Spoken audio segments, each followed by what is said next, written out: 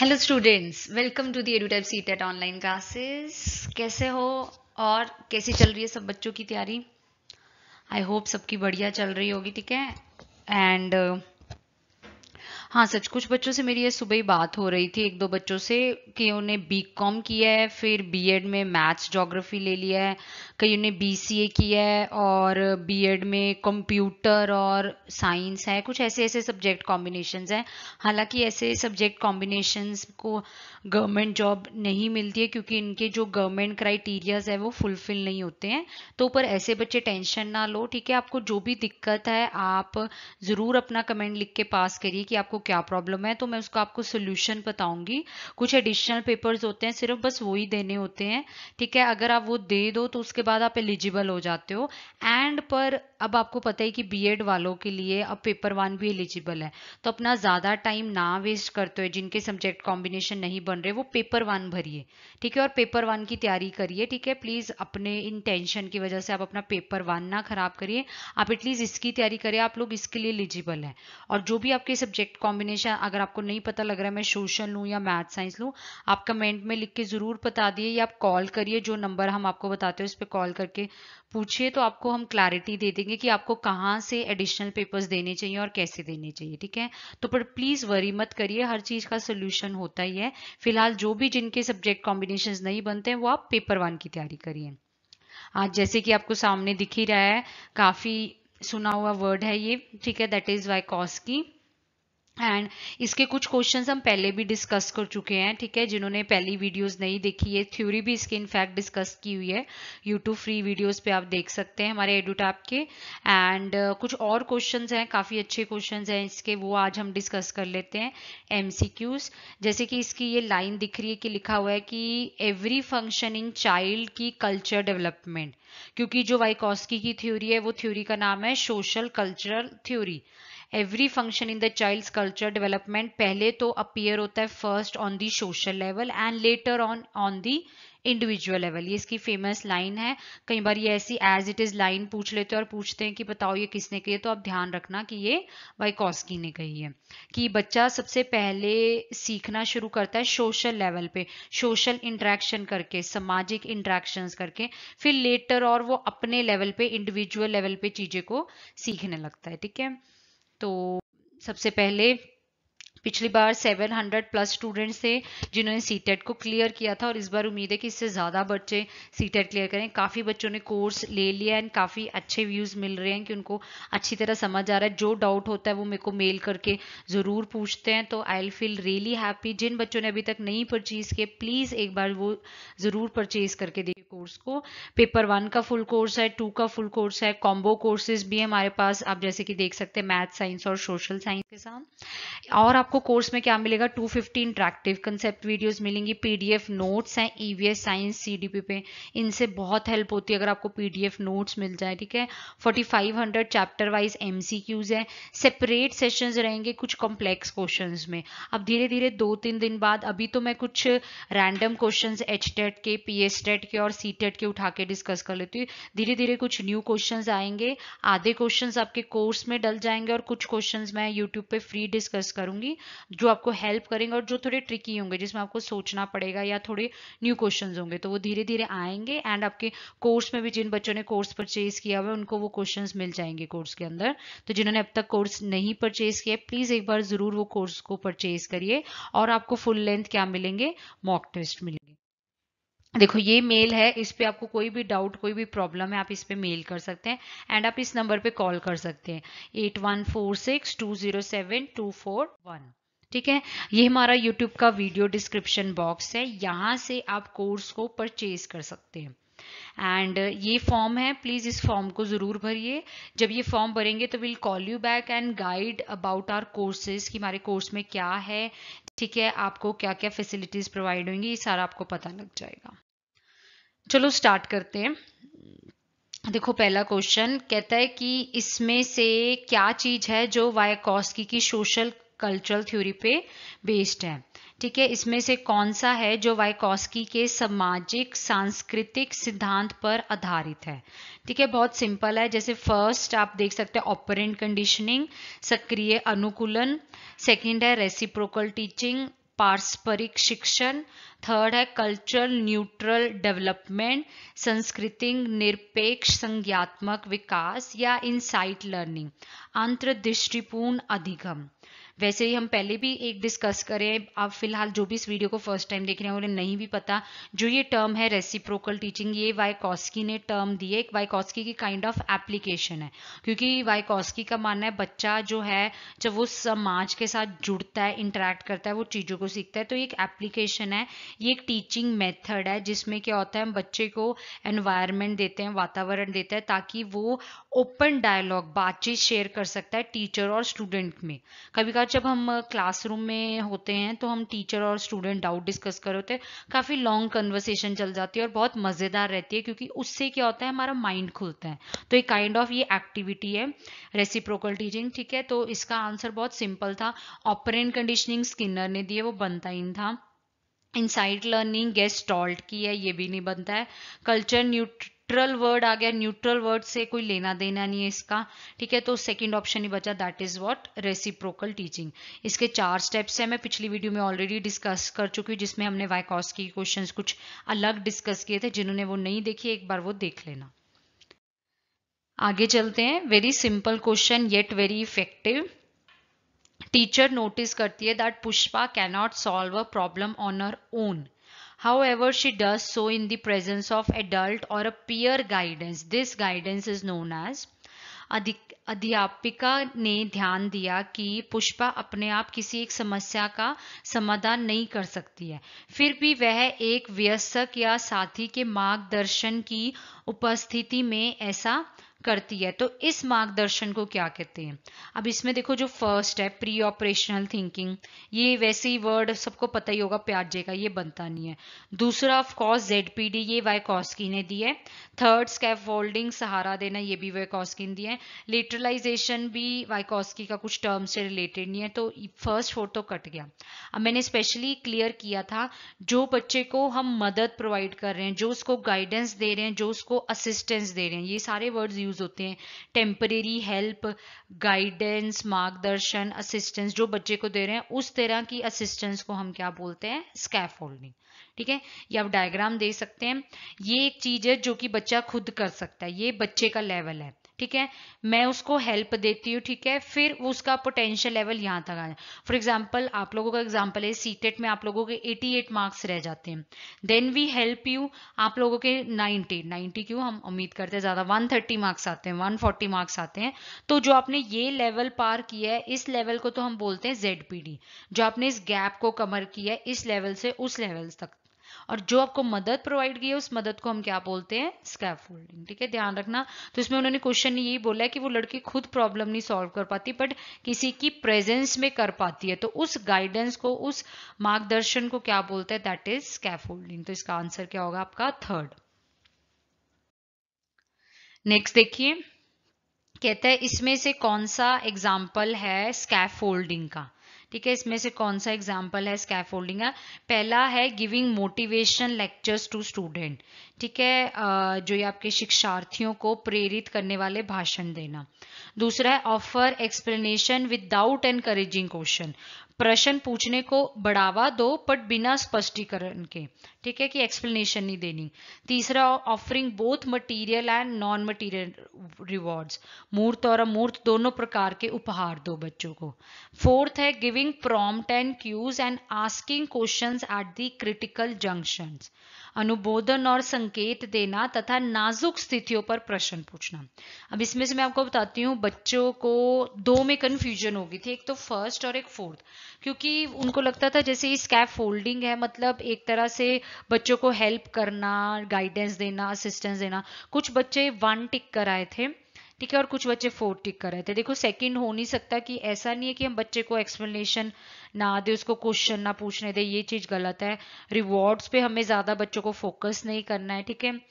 अब इसका answer basically स्कैप folding पता है? स्कैप फोल्डिंग का कंसेप्ट ये है, बच्चे की मदद करो बट बच्चे को हिंट दो, मदद करो बट एक टाइम बाद छोड़ दो, ताकि वो आगे जाके फिर खुद करने लग जाए। अगर हम बच्चे को हर चीज़ में हेल्प करते रहेंगे, उसे सहारा देते रहेंगे, वो कभी भी खुद ग्रो नहीं करेगा, वो खुद नहीं समझेगा किसी प्रॉब्लम को। एक तभी स्कैफ फोल्डिंग को टेम्परेरी हेल्प भी बोला जाता है, कि सिर्फ़ कुछ समय के लिए बच्चे को कोई हिंट दिया है, उसको जहाँ जहाँ थोड़ी मुश्किल है, वहाँ वहाँ मदद करी और फिर उसे छोड़ दिया, ताकि आगे वो खुद कर ले। तो इसमें अगर मैं देखूँ, सबसे बेस्ट ऑप्शन जो बन रहा है वो ऑफकोर्स क्या बनना है? Fourth giving prompt and cues and asking question at critical junction नाजुक स्थितियों पर उसका सहारा देना, उससे प्रश्न पूछना और उसको हिंट देना, ताकि आगे की चाल वो खुद चले, आगे की चीज़ों को वो खुद समझे। तो ऑफकोर्स इसमें आंसर फ़र्स्ट नहीं होगा। मोटिवेशन लेक्चर देना, ये इससे कोई इफ़ेक्टिव नहीं होगा। इससे बच्चों का अच्छा स्कैफोल्डिंग का ये कोई एग्ज़ाम्पल नहीं है। ठीक है? वेरी इजी क्वेश्चन ये था। वाइकॉस के अकॉर्डिंग चिल्ड्रन लर्न बच्चे कैसे सीखते हैं? पहला बाय मैच्यूरेशन ठीक है? जैसे जैसे वो बड़े हो ही जाते हैं, वैसे वैसे वो सीखते हैं। जैसे जैसे वो मेच्योर होते हैं बाय इमिटेशन अनुकरण करके by interacting with adult and peer ठीक है? व्यस्कों और समवयस्कों के साथ परस्पर क्रिया से एंड वेन री इज़ ऑफर्ड वेन पूर्ण बलन किया प्रदान किया जाता है। ये तो बहुत इजी क्वेश्चन है। हम वाइकॉस्की की थ्योरी का नाम ही ये है सोशल कल्चरल थ्योरी की बच्चा कैसे सीखता है इंटरेक्ट करके। ठीक है? तो ऑफकोर्स इसका आंसर बहुत ईजी है by interacting with adult and peer बाकी इसमें से कोई आंसर बच जहाँ पे ये वर्ड आ गया ना कि बच्चा वाइकॉस्की ने स्ट्रेस ही किया कि बच्चा अडल्ट और पियर्स की प्रेजेंस में सीखता है। तो इसका आंसर आपका क्या होगा? थर्ड ये भी बहुत इजी क्वेश्चन है। Vygotsky emphasize the significance of role played by which of the following factors in learning of children Vygotsky बच्चों के सीखने में, निम्नलिखित में से किस कारक की महत्वपूर्ण भूमिका पर बल देता है? हेरिडिटरी आनुवंशिक मॉरल नैतिक, शारीरिक, सामाजिक। ऑफकोर्स वाइकॉस्की की थ्योरी का नाम क्या है? सोशल कल्चरल थ्योरी तो इसका आंसर क्या होगा? सोशल दैट इज़ सामाजिक की। इस फैक्टर पे वाइकॉस्की ने स्ट्रेस किया है। नेक्स्ट क्वेश्चन ये देखो, ये फिर रिपीट क्वेश्चन है। देखो, कितने रिपीट क्वेश्चन हैं बट ये क्या है, वो अपनी बस स्टेटमेंट बदलते रहते हैं। According to Vygotsky children learn a lot through dash their peers Vygotsky के अनुसार बच्चे अपने समवस्कों के साथ डैश करते हुए बहुत ज़्यादा सीखते हैं फाइट करके ज़्यादा सीखते हैं अनुकरण कॉपी करके ज़्यादा सीखते हैं इंटरैक्ट करके अंत क्रिया करके ज़्यादा सीखते हैं या प्रतियोगिता कंपटीशन अभी पीछे सेम ऐसा क्वेश्चन था बस थोड़ा लाइन का फ़र्क कर देते देखो ये लोग ठीक है, बस थोड़ा सी क्वेश्चन में ना लाइंस चेंज करती वर्ड को ब्रेक कर दिया वैसे। ऑफ़ कोर्स इसका आंसर इजीली पता लगता है कैसे करके वो सीखते हैं, अंत क्रिया करके। जितना वो इंटरेक्ट करेगा सोशल का मतलब यही है इंटरेक्शन उतना बच्चा ज़्यादा सीखेगा। तो अपने पियर्स के साथ जितना वो इंटरेक्ट करेगा, उतना उसकी लर्निंग और अच्छी होगी। तो इसका आंसर आपका क्या होगा? थर्ड ठीक है? नेक्स्ट क्वेश्चन ये भी टर्म बहुत इजी है. प्राइवेट स्पीच पूछा हुआ है कि किसने दिया है? निजी भाषा जो ये शब्द वाली है का प्रयोग पहली बार डैश द्वारा किया गया है. ऑफकोर्स ये वाइकॉस्की द्वारा किया गया है. बच्चा पहले तो क्या होता है? अपने माता पिता के साथ इंटरेक्ट करता है. वो उनसे सीखता है. जब वो उनसे सीखता है धीरे धीरे वो फिर खुद के साथ बात करने लगता है. अपनी सेल्फ टॉक करने लगता है. वाइकॉस्की ने सेल्फ टॉक को क्या बोला है? प्राइवेट स्पीच ठीक है? तो ये टर्म आपको किसने दिया है? वाइकॉस्की ने. ये प्राइवेट स्पीच की पिछले क्वेश्चंस में हमने डिस्कस किया हुआ डेफिनेशन भी आई हुई है। जब बच्चे अपना मार्गदर्शन खुद करते हैं when children guide their own actions it is known as private speech ठीक है? जैसे कि लड़की देख रही है, अपने आप से बातें कर रही है, एक काइंड ऑफ़ ये सेल्फ टॉक हो गई। नेक्स्ट क्वेश्चन वाइकॉस्की की थ्योरी क्या इम्प्लाई करती है? इसमें से वाइकॉस्की की थ्योरी हमें बताना है कि कौन सी इसमें से लाइन कौन सा ऑप्शन ठीक है। पहले कि वाइकॉस्की ये स्ट्रेस करता है कि आप संयोगयात्मक समस्या समाधान करें कोलैबोरेटिव प्रॉब्लम सॉल्विंग करें। इंडिविजुअल असाइनमेंट दी जाए हर बच्चे को, ठीक है, कि हर एक विद्यार्थी को सिंगल सिंगल आप असाइनमेंट दे दो। थर्ड ऑप्शन है आफ्टर इनिशियल एक्सप्लेनेशन थोड़ी सी एक्सप्लेनेशन देने के बाद बच्चों को बिल्कुल भी सपोर्ट ना करो डिफ़िकल्ट क्वेश्चंस में। एंड फोर्थ ऑप्शन है चिल्ड्रन लर्न करते best in the company of children having I Q lesser than his or her own ये बहुत इजी पता लग रहा है। देखो थर्ड ऑप्शन बिल्कुल नहीं हो सकता, बच्चे को सपोर्ट नहीं देनी, ऐसा तो हो नहीं सकता। रही बात फोर्थ ऑप्शन कह रहा है, कह रहा है कि बच्चे उन बच्चों की संगति में श्रेष्ठतम रूप से सीख सकते हैं, जिनका बुद्धि लंबदांक उनके बुद्धि लंबदांक से कम होता है, जिनका आईक्यू दूसरे बच्चों से कम होता है। ये तो वैसी पार्शलिटी होगी, और हमें ऐसी पार्शलिटी करनी नहीं है। तो इसमें ना तो थर्ड है, ना फोर्थ है असाइनमेंट से ऐसा कुछ लेना देना नहीं है। वाई कॉस की स्ट्रेस करता है? जितना बच्चा इकट्ठे सीखेगा, उतना वो बच्चा ज़्यादा सीखेगा। ऑफकोर्स तो इसका आंसर क्या होगा आपका? फ़र्स्ट कोलैबोरेटिव प्रॉब्लम सॉल्विंग ठीक है?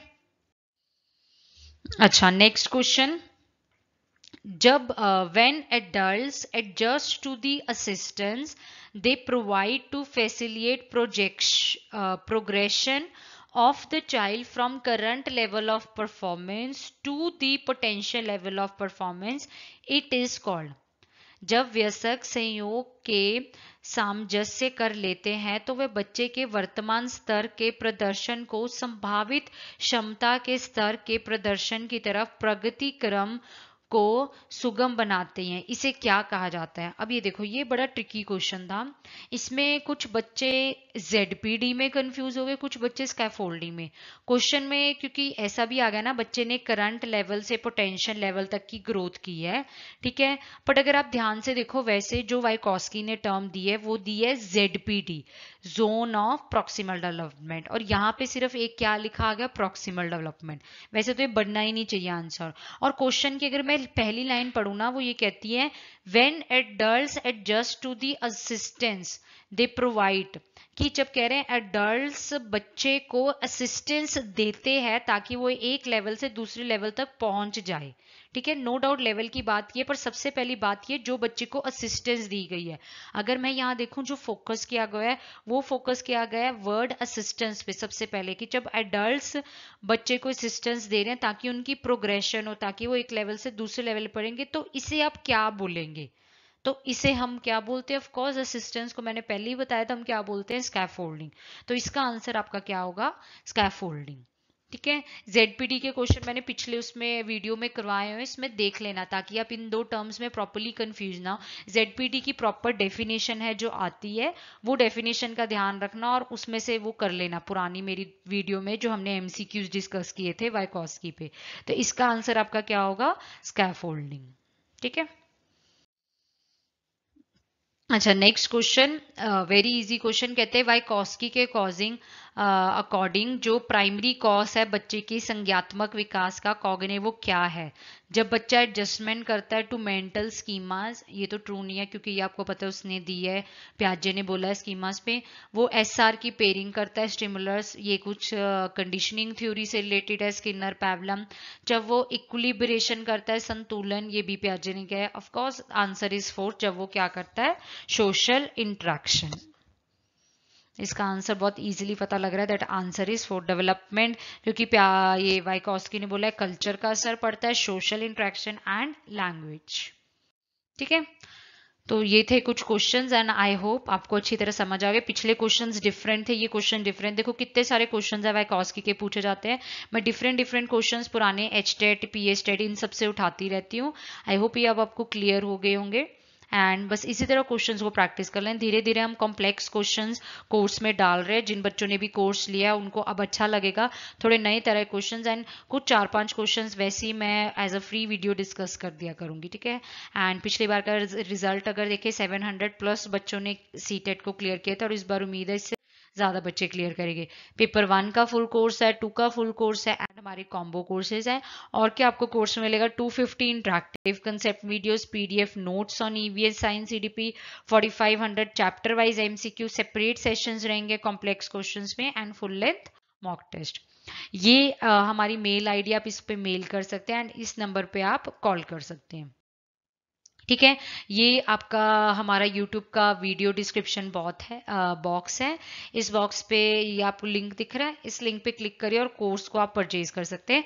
एंड इस फॉर्म को ज़रूर भरिएगा। ये फॉर्म जब आप भरेंगे तो हम आपको गाइड करेंगे about our courses okay thank you and all the best keep going and अपनी तैयारी को जारी रखिए एंड मोटिवेटेड रहिए, ठीक है? एंड पॉजिटिव रहिए। Most important bye bye